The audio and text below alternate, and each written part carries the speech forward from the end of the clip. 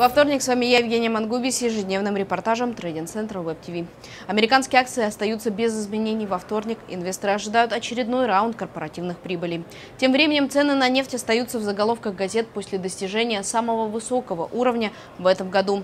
Ранее США заявили, что устранят все запреты, позволяя восьми странам покупать иранскую нефть без санкций Америки, начиная с 1 мая. Между тем, Форекс-маркет имеет следующее значение. Евро по отношению к доллару на 0,33% дешевле и стоит 1 и 1223 пункта. Пара фунта и доллара укрепляется и держится выше горизонтальной линии поддержки. Долгосрочные позиции будут выше 1 и 2975 пунктов со значениями 1 и 3005 пунктов и 1 и 3020 пунктов.